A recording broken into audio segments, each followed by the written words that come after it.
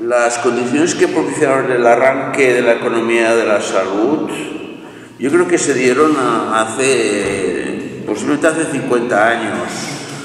Por un lado, transformaciones organizativas propiciadas por el crecimiento económico que siguió al plan de estabilización y eso propició que un conjunto de economistas se dedicara a la gestión hospitalaria.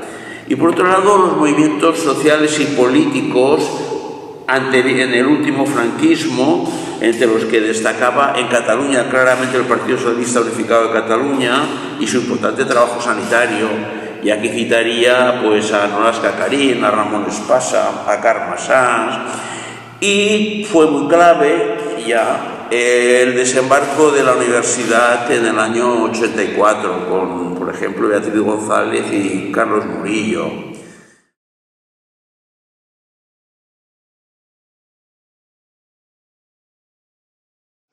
La creación de SESPAS, que se decidió junto con la Sociedad Española de Epidemiología, la creación de la European Public Health Association, esa ya me enganchó como presidente de SESPAS, que la hicimos en el 92 en París, los acuerdos con la Fundación Banco Bilbao Vizcaya Argentaria, con Bayer para la beca, los informes técnicos que se publicaron en Gaceta, esos serían momentos destacados.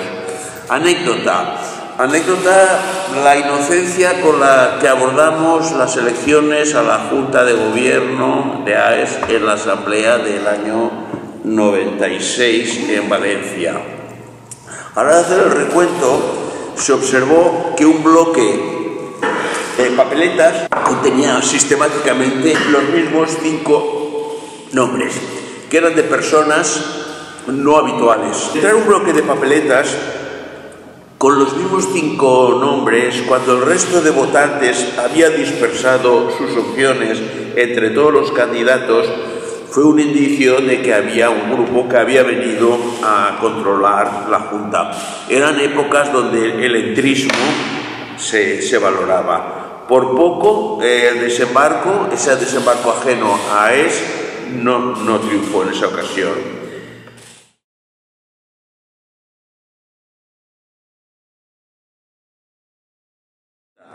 Las mías, pues tipo un poco Santa Teresa de Jesús, que iba por ahí creando monasterios, pues desde el primer curso de gestión hospitalaria que organizamos en ESADE hace 50 años, en el 73, pues muchas actividades formativas, bolos recorriendo el territorio, másters a finales de los 80, en la UB, después en, la UPF, eh, inicio de las actividades en lo que era eh, la Escuela de Valencia de Salud Pública, que se llamaba Instituto Valenciano IBES, Instituto Valenciano de Salud Pública, los inicios de la escuela andaluza, pues estas fueron las contribuciones más importantes.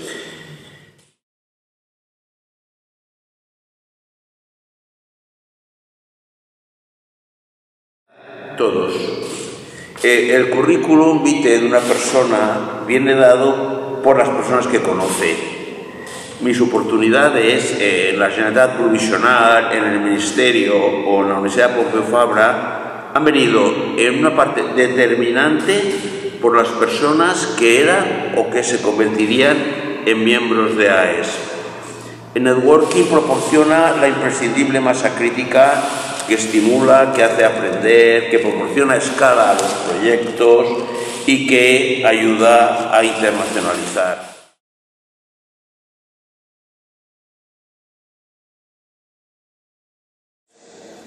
El fortalecimiento e internacionalización permanentes atenta siempre a no convertirse en un club de hombres viejos. Como sociedad ha vivido una mejora permanente. Otra cosa son los logros de la economía de la salud.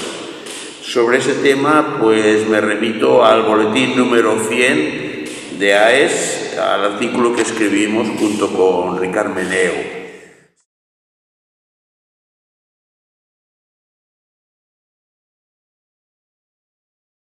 Evolución, cambios observados, muchos. En un principio, casi todo era AES economistas, gestores, políticos, epidemiólogos, calidólogos, estadísticos, informáticos, profesionales sanitarios curiosos, todos iban a las primeras jornadas de AES. Otras asociaciones, naturalmente, se fueron creando con el tiempo y AES ha ganado especialización y fundamento académico, sacrificando necesariamente alcance.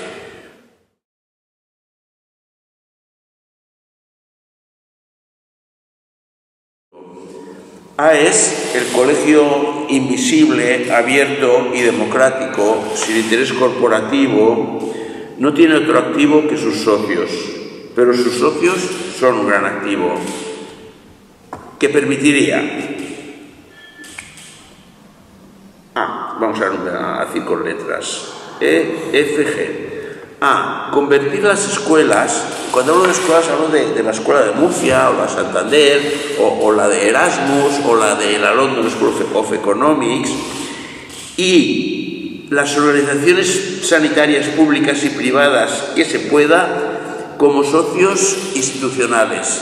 Ah, no hay ningún inconveniente de tener dobles y triples afiliaciones. Y estas escuelas y estas organizaciones más implicadas tienen convertirse tantas como se puedan en socios institucionales y que una parte de su actividad sea actividad asimismo de AES. B. Recuperar el espíritu de los 20 años de la revista de publicaciones secundarias Gestión Clínica y Sanitaria, en unos momentos de publicaciones desbordadas, y no solo por Frontiers o MDPI, sino por Nature, por Science, por Plus One. La cantidad de cosas que se publican ha crecido tanto que cada vez es más importante seleccionar, resumir y contextualizar. Esto hablando solo de literatura científica, pero después tenemos que en el mundo pues hay como 2.000 millones o 3.000 millones de webs que son relevantes y que también habría que...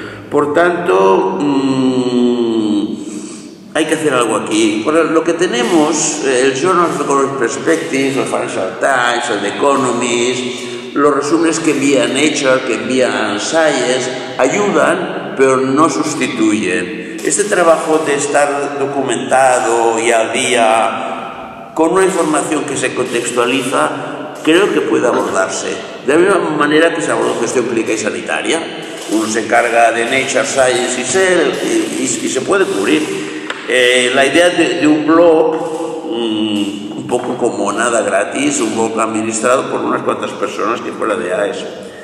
C. En la línea con los grupos de interés existentes, activar el policías. Eso ya está en marcha, es viable. D eh, no verse limitado por la denominación economía de la salud.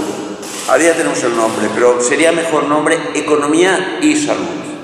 Mejor nombre que economía de la salud. Un poco lo que hicimos en el CRES. En el CRES optamos por poner economía y salud. Con una economía que también es una ciencia social, ya va bien que habitualmente separan economía de otras ciencias sociales, pero en el fondo es una ciencia social pero sobre todo con, la incorporación de salud, que cada vez cuenta más con profesionales con ramalazo economía de la salud, algunos con ramalazo total. Por ejemplo, Marcela Alsan es una clínica, eh, Jai Batakshaya es un epidemiólogo. Los dos se identifican fundamentalmente como economistas de la salud, lo son, y sus contribuciones son punteras. En AES, en el pasado, personas como Boro Peiró, Ricard Meneo o Quique Bernal han, sido claves para incorporar este elemento salud. Ah, hay que saber de qué se está hablando, cosa que hasta ahora ha distinguido la economía de la salud de otras economías aplicadas, menos conocedoras de su entorno institucional. E, dentro de la economía mantenerse muy atentos a todas las aplicaciones, particularmente en empresa y gestión. Desde la economía se tiende a menospreciar las aplicaciones a la empresa. Se olvida con frecuencia que en las escuelas de élite, en las unidades de élite del mundo, los profesores que se dedican a empresa son más valorados que los profesores que se dedican a economía. Porque un profesor de economía que esté dando clase en un doctorado se dirige a alumnos que de mayores quieren ser como él. En cambio, un profesor que da clases en, business se enfrenta a un conjunto de escépticos que piensa, ¿y este es el que nos tiene que hacer millonarios? No. Cuesta mucho más eh, ganarse el interés, el aprecio, el respeto de este tipo de gente y por tanto su retribución es, es, es mayor. Empresa y gestión. Al fin y al cabo, ahí está el frente en el que se demuestra este famoso valor. F. Seguir impulsando el blog y el boletín AES.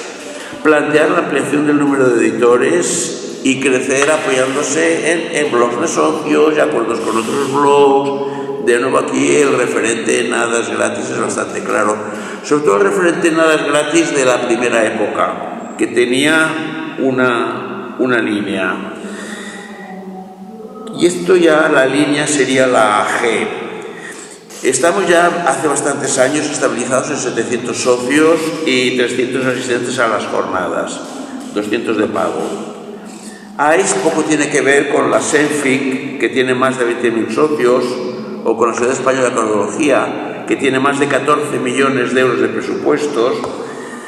Entonces hay, hay que hay que adaptarse a, este tamaño, pero dándole también una cierta especialización. A mí me gusta el lema de, BEA, el de ciencia, acción y, conciencia.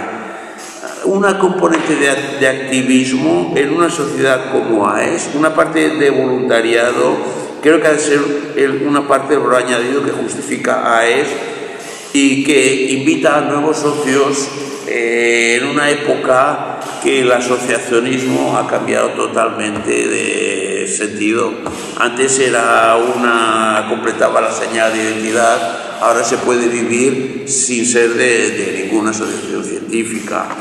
Y esto serían las dos, tres, cuatro, siete propuestas que, para, el futuro. Pero bueno, las siete, como los mandamientos, se, sumiría, se suman en uno el principal activo de AES son sus socios, la calidad de estos ha ido aumentando a lo largo del tiempo, las juntas son cada vez mejores y las perspectivas son de que incorporemos gente cada, vez mejor y como siempre internacionales, implicando a todo el mundo y nada más.